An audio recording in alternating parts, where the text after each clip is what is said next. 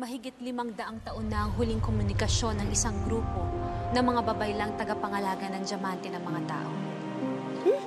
Limang daang taon? Eh, buhay pa kaya sila, Reyna ni Rhea?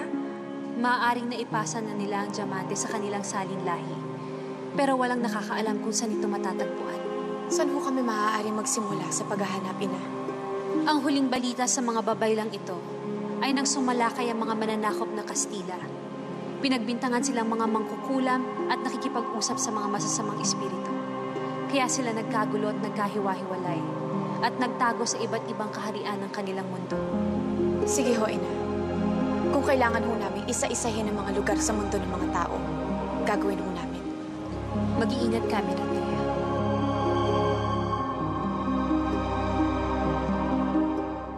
Tayong balita mula kina Miratea at Liway. Ano na kayang nangyari sa kanilang paghahanap? Huwag muna tayo masyado mag-alala sa kanila, mahal na Reyna.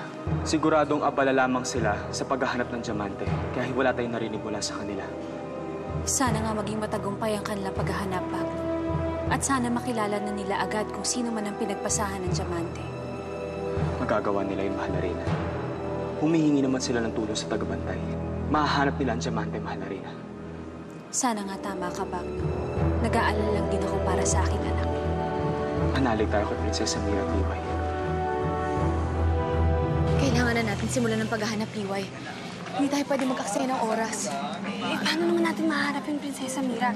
May nakakaalam ba dito kung sino yung salin lahi ng babaylan? May nakakakilala pa ba sa kanya rito? Hindi ko din alam. Kaya magtanong tayo. Ah, magandang gabi ho. Maaari ho ba magtanong? Aba, oo naman. Ano ba yun? Ah, meron ho ba sa inyong salinlahi ng babaylan? Babaylan? Yung may kakayahan pong manggamot, meron po ba sa inyo na babaylan ng ninuno?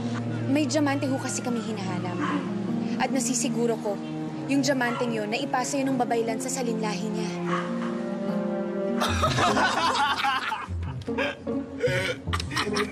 Nakakatawa ho ba sa sinabi ko? Oo nga. Baka albularyo yung hinahanap nyo. Si Ma'am Bestre. Patay na. Namatay ng mahirap. Pero walang diamante yun.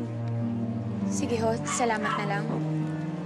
Parang wala nang mga pagsabi sa atin kung saan yung grupo ng mga babaylan na hinahanap natin eh. eh. Paano kaya kung patay na sila lahat? Liway, maaaring napapagod ka lang. Mabuti pa magpahinga na muna tayo. Maayos pa naman ako, Prinsesa Mira. Ang iniisip ko lang, kaya ba talaga nating hanapin yung diamante? Saka kung hirap na hirap tayo, edi mahihirapan din si Peruha, di ba? Hindi, Liway. Kapag nakuha na ni Peruha ang apat na diamante, ituturo na ng mga ito kung nasa ng huling diamante sa kanya. Ano? Eh, di ibig sabihin, hindi pa rin tayo makapagpahinga, prinsesa.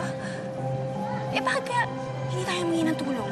Kay Juan, sa tagabantay. Tama ka, Liway. Puntahan na natin si Juan. Tara.